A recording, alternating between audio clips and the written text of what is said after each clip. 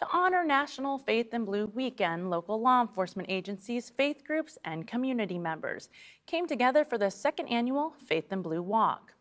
The National Faith and Blue Weekend is the nation's largest annual collaborative policing initiative. It builds bridges and stronger relationships with law enforcement and the communities they serve. This event isn't just happening here in Myrtle Beach. Law enforcement agencies across the country participate in this campaign each year. Throughout this walk, participants stopped in front of each of the nine agencies' vehicle to say a prayer for those who serve and protect. It brings our faith-based community and law enforcement together to, uh, to, to build a to network and to talk about and discuss issues that's going on in our communities and, and through our churches and, and, and through law enforcement. It just builds relationships and, and uh, it's just, it's a great day. And they had a great turnout this year, and Sheriff Thompson hopes it gets bigger and better each year.